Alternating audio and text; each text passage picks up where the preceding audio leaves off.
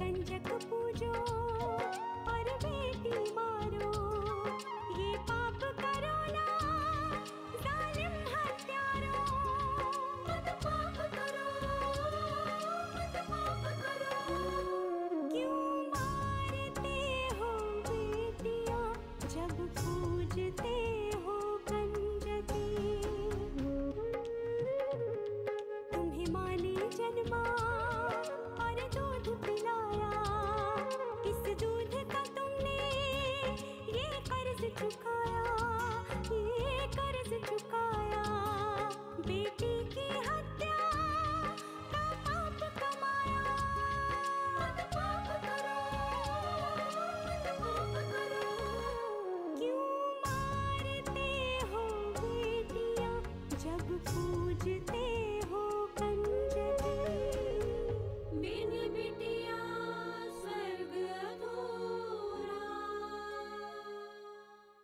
लेकिन अगर कोई समस्या हो भी गई तो तुम दोनों मिलकर कोई अच्छा सा फैसला ले सकते हो।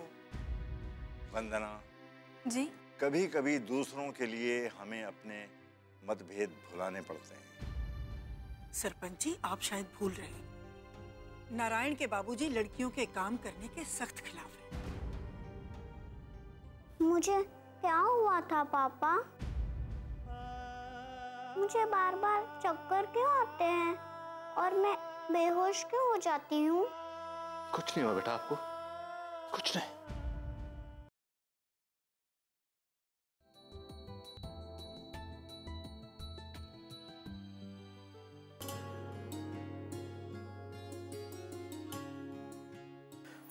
डॉक्टर स्मिता के साथ हमारा अपॉइंटमेंट है। किस नाम से? लक्ष्मी। अच्छा ठीक है बैठिए मैं बात करती हूँ। जी। लक्ष्मी अ, तब तक बैठ जाओ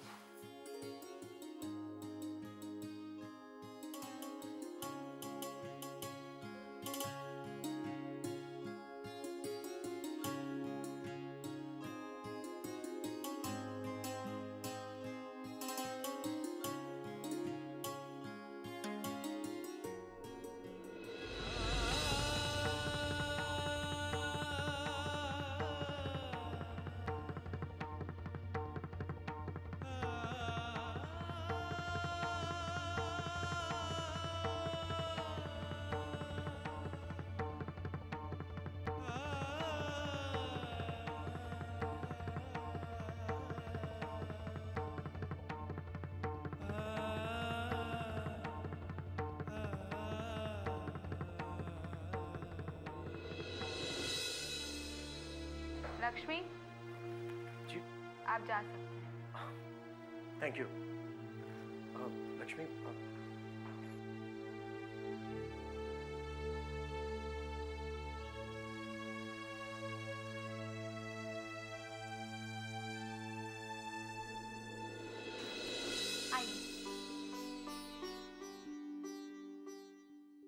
बैठिए।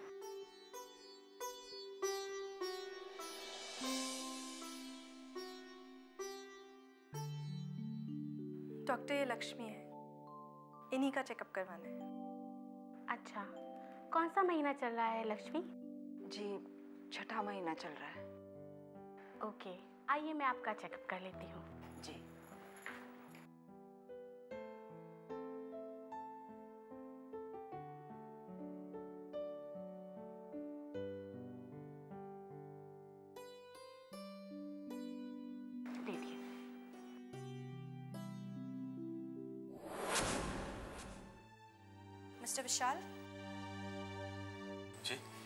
बाहर से दो ही बोतल खून का इंतज़ाम हो पाया है। हमें और खून चाहिए। तो अब क्या होगा? आपको खून का इंतज़ाम करना होगा। लेकिन हम कहाँ से करेंगे? आपके रिश्तेदारों में किसी का खून तो पॉजिटिव होगा। आप पता तो कीजिए। आप हमारा ब्लड चेक कर लीजिए ना। शायद शायद मैच कर जाए। प्लीज़ ठीक है आप लोग चलिए मेरे साथ।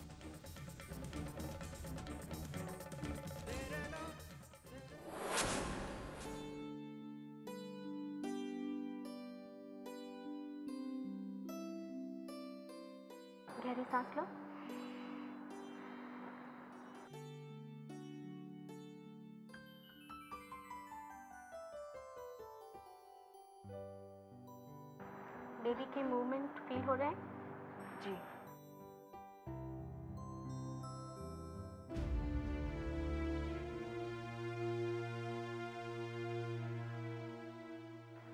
वंदना, हम दोनों के बीच इतनी खामोश, इतना बड़ा फासला कैसे हो गया? क्यों हम इस दूरी को कम नहीं कर पा रहे? क्यों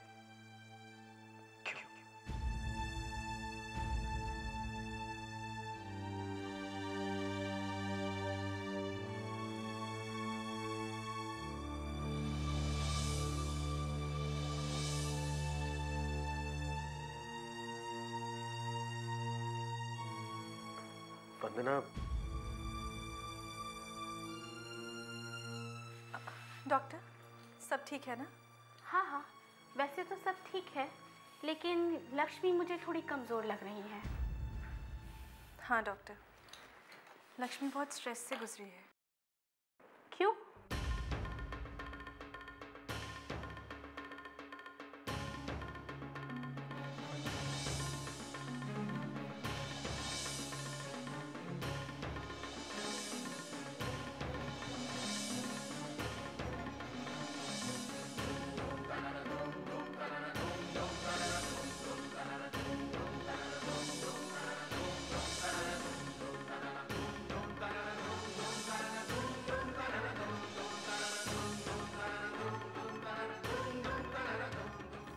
लक्ष्मी अपनी बच्ची को बचाने के लिए तुमने बहुत हिम्मत की है। वरना आजकल की औरतें अपने घर वालों के आगे हार मान जाती हैं और उनके जुल्म सहती रहती हैं। जी डॉक्टर। लक्ष्मी बहुत हिम्मत वाली है। मैं ये कुछ दवाइयाँ लिख रही हूँ। ये इन्हें ध्यान से देते रहिएगा। जी ज़रूर। और हाँ अगले महीने चेकअप के लिए ज़रूर आइएगा। जी।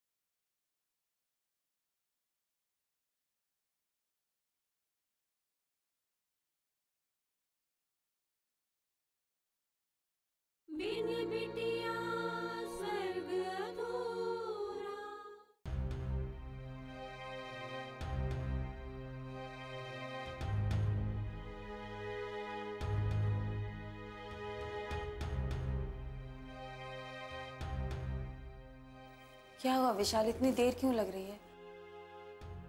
शायद टेस्ट में टाइम लगता होगा।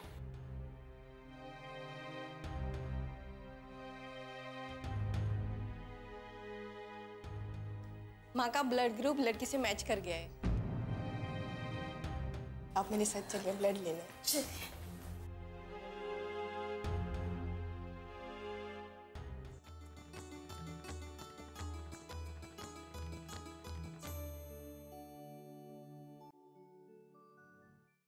मुझे माफ़ कर देना लक्ष्मी। जिस प्यार सम्मान की तुम हकदार थी। मैं वो तुम्हें कभी दिला नहीं सका। मुझे माफ़ कर दे।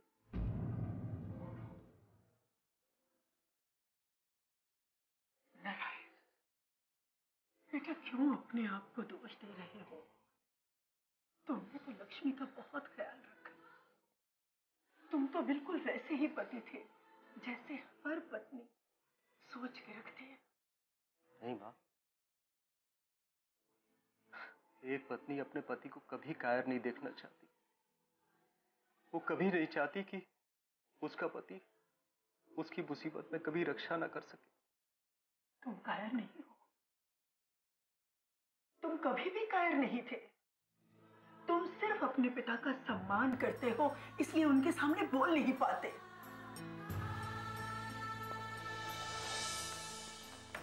सम्मान? ये सम्मान नहीं है, माँ। ये डर है। डर कि मेरे विरोध करने पर कहीं वो लक्ष्मी और अनु की जान ना ले लें।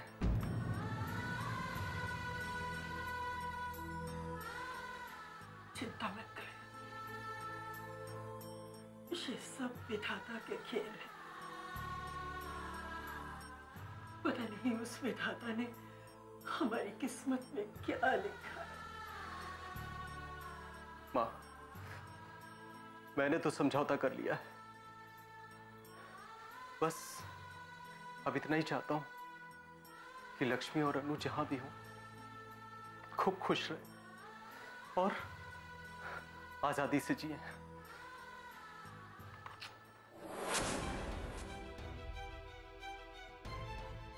क्या हुआ नर्स कुछ प्रॉब्लम तो नहीं है ना? बड़ी मुश्किल से दो बोतल खून का इंतज़ाम हुआ था लेकिन और खून की ज़रूरत है।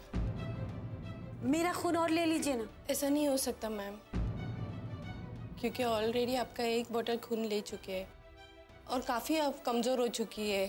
अगर और आपका खून ले लिया तो आपको प्रॉब्लम हो सकती है। कोई बात नहीं मुझे कुछ भी हो जाए इससे मुझे कोई फ़र्क नहीं पड़ता। आप अनु के लिए प्लीज़ हमें फ़र्क पड़ता है मैम तो आप ही बताइए हम क्या करें? हम तो कोशिश कर रहे हैं और आप भी कोशिश कीजिए।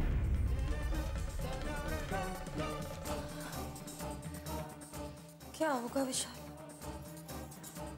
कहाँ से लाएँगे और खून फ़िक्र मत करो मैं कुछ बंदोबस्त करता हूँ।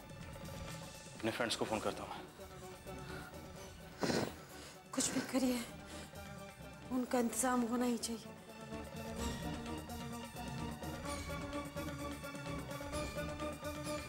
हेलो हाँ रवि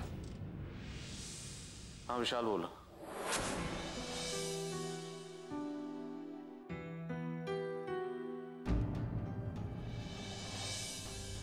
आप? आप फिर आ गए? हाँ नंदिनी। तुमसे मिलने के लिए मेरा दिल बेचैन हो रहा था। बस मुझे आना ही पड़ा। इन सब बातों का अब कोई फ़ायदा नहीं। है आप यहाँ से चले जाइए। आखिर मेरी गलती क्या है नंदिनी? क्यों तुम मेरे साथ ऐसा कर रही हो? सब कुछ जानते हुए भी अनजान मत बनिए और मेरे रास्ते से हट जाइए। मुझे जाने दीजिए। जब तक तुम मेरी बात नहीं सुन लेती मैं यहाँ से नहीं जाऊँगा। ये क्या जिद है? आप क्यों मुझे तंग कर रहे हैं? जो कुछ भी हुआ उससे आपका मन नहीं भरा क्या? नंदिनी जो कुछ भी हुआ उसके बारे में मुझे नहीं पता था। अगर मुझे पता होता तो ऐसा कभी नहीं होता। ठीक है मैंने मान लिया। लेकिन अब क्या?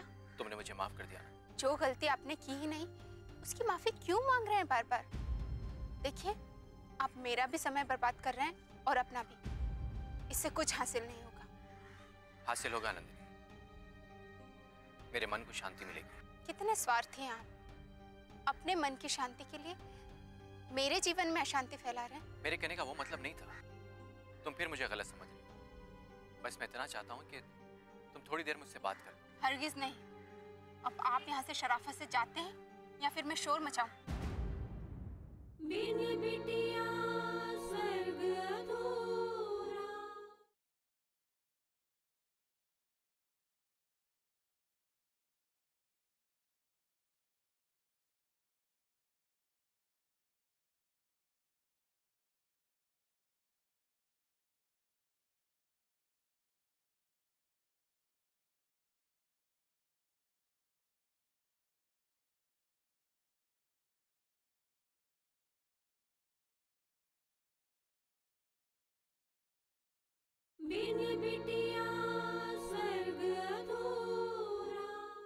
अब आप यहाँ से शराफत से जाते हैं या फिर मैं शोर मचाऊं? नंदिनी।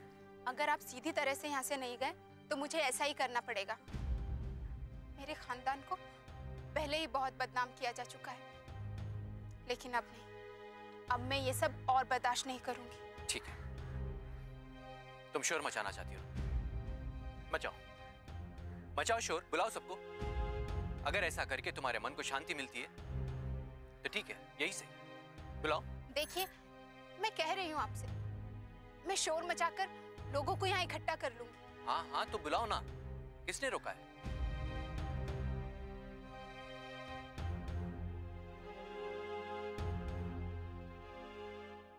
क्या हुआ? नहीं मचा पाई ना शोर? क्यों? बुलाओ।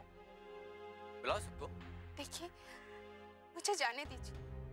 जो कुछ भी मेरी ज़िंदगी में हो चुका है, मैं उसे भुलाने की कोशिश कर रही हूँ। आप वही सब मेरी ज़िंदगी में फिर से मत दोहराइए। मैं आपके आगे हाथ जोड़ती हूँ। नंदिनी प्लीज़ प्लीज़ तुम इस तरह हाथ मत जाओ बल्कि मैं तुम्हारे आगे विनती करता हूँ। एक बार एक बार मेरी बात तो सुन। तुम्हारे मन में जो भी कड़वाहट है, वो दूर हो जाएगी। प्लीज़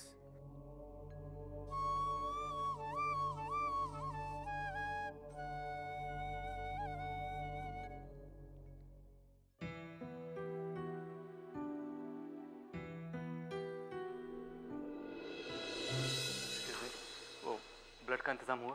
नहीं अभी नहीं। क्या कर रही हैं आप? जल्दी कीजिए ना वरना देर हो जाएगी। हम कोशिश तो कर रहे हैं पर अभी नहीं हो पाया तो हम क्या करें? आ, वैसे भी ये ब्लड ग्रुप बहुत रेयर है। क्या होगा? तुम कुछ।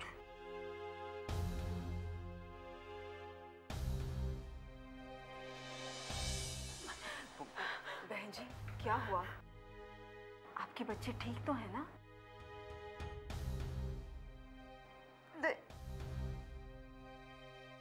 उसका ऑपरेशन होने वाला है खून की ज़रूरत है।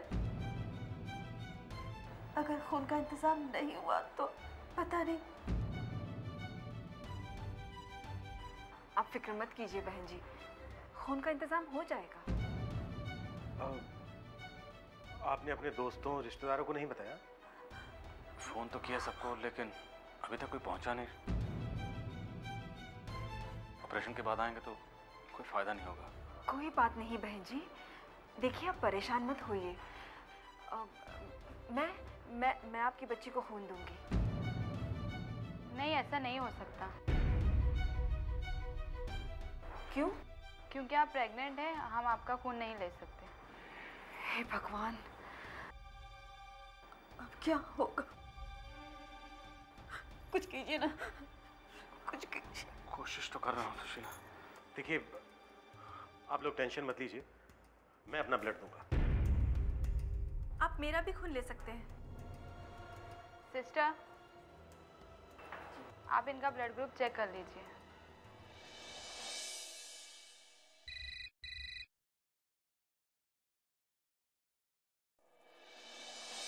सिस्टर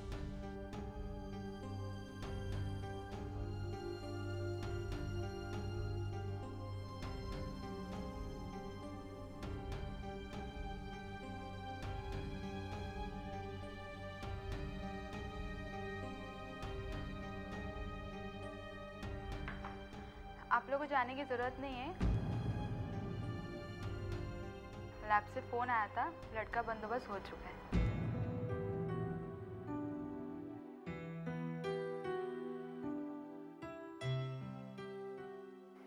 भगवान का लाख लाख शुक्र है। आप चिंता मत कीजिए बहन जी। वो है ना, वो सबकी खुशियों का ख्याल रखता है। आपकी बच्ची बहुत जल्दी ठीक हो जाएगी। हम सब दुआएँ मांगेंगे उसके लिए। धन्यवाद। ना जानते हुए भी आपने मेरी बेटी के लिए इतना सोचा। इसके लिए आपका बहुत बहुत धन्यवाद। आपकी बच्ची मेरी बच्ची की तरह है, बहन जी। अब धीरज रखिए। वो बहुत जल्दी ठीक हो जाएगी।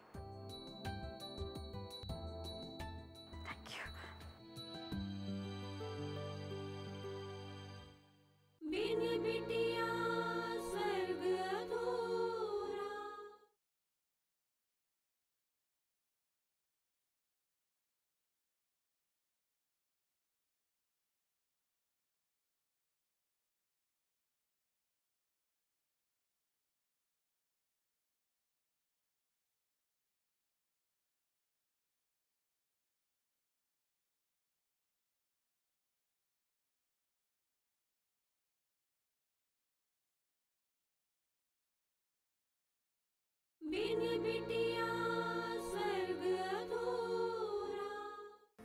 उन दिनों मैं अपनी मौसी के यहाँ था, लखनऊ में।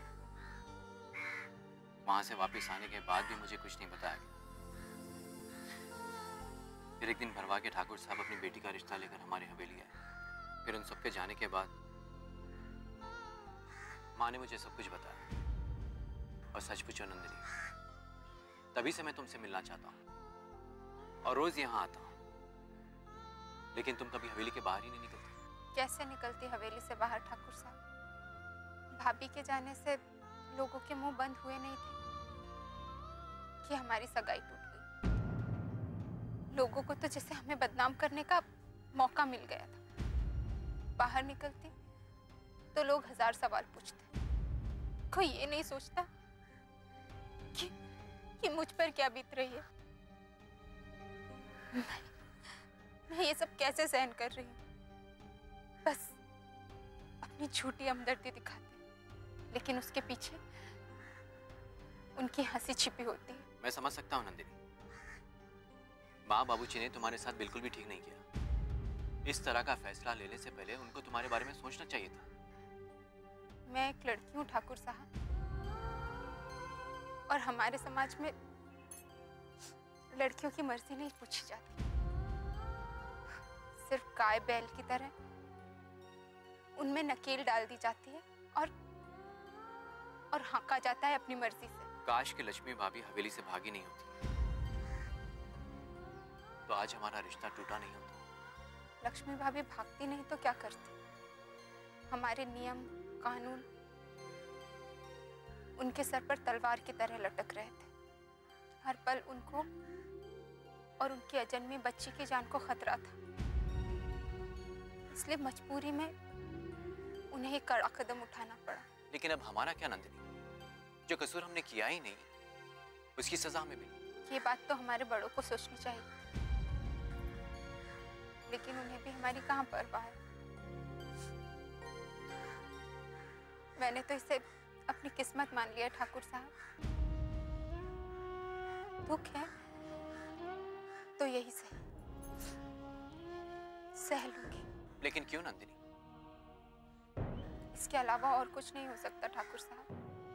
ना तो मुझे अपनी मर्ज़ी से सोचने का हक है ना कुछ करने का। सिर्फ़ कठपुतली की तरह जिधर मोड़े उधर मुड़ जाना। है मुझे अगर जरा भी भनक होती ना तो मैं ऐसा कभी नहीं होने देता। कोई बात नहीं ठाकुर साहब। जो कुछ भी हुआ वो मेरी बदकिस्मती थी। आपका कोई दोष नहीं था। मैंने आपको माफ़ कर दिया। इसलिए आप अपने दिल पर कोई भी बोझ मत रखिए चलती हूँ।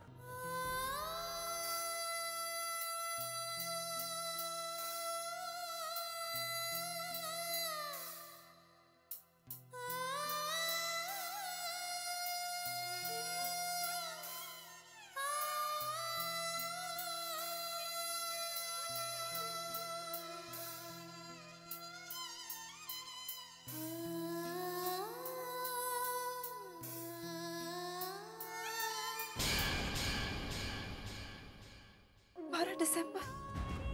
ये ये ये तो मेरी अनु की जन्म की तारीख है। इस घुटन से बचने के लिए तुम्हारा बाहर जाना बहुत ज़रूरी था। और तू मना कर रही थी? चलो अब तो जा रही है ना। पर नारायण इस बात का ध्यान रखना कि तुम्हारे बाबूजी को इस बात का पता नहीं चलना चाहिए। आपको लगता है कि मेरी बच्ची मुझे मिल जाएगी? हाँ क्यों नहीं? सच्चे और निश्चल मन से की गई पुकार ऊपर वाले तक ज़रूर पहुँचती है। आपकी अनन्या एक दिन आपको ज़रूर मिलेगी।